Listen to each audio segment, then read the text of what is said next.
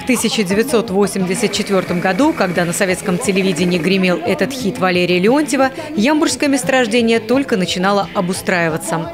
Здесь и дорог-то не было, а уж светофоры и вовсе появились гораздо позже. Их и сейчас немного. Всего три перекрестка в Ахтовом поселке оборудованы сигнальными фонарями.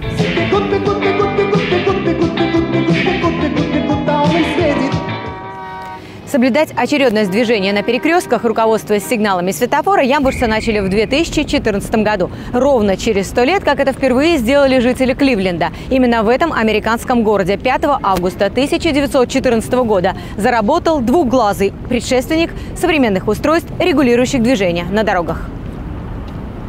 В Ямбурге три светофорных объекта. Расположены они на перекрестках автовокзал «Пожарная часть», ГТС-72 УТТ-СТ и на пересечении дорог в районе второго жилого модуля.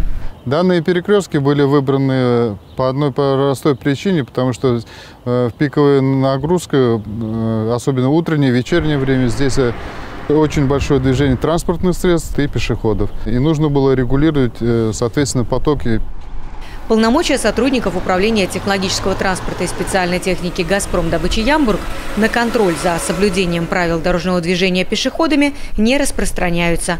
Но профилактическая работа совместно с ГИБДД в этом направлении периодически проводится. На данных перекрестках мы стоим вместе с э, работниками госавтоинспекции, вот, выявляем, соответственно, оформляем, помогаем им. В 2020 году каждое четвертое ДТП в России – это наезд на пешеходов. Не всегда самые уязвимые участники дорожного движения были виновниками, но в некоторых случаях, будь они внимательнее и аккуратнее, трагедии можно было бы избежать.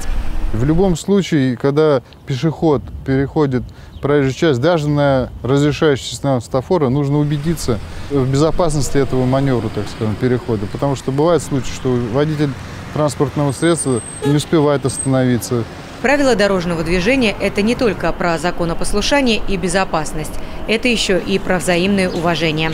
Кстати, на первых светофорах для пешеходов, которые появились в СССР в 60-х годах прошлого века, были непривычные нам человечки, а уважительное обращение «стойте и идите». Нелли Харудинова, Денис Курдаков из поселка Трех Светофоров.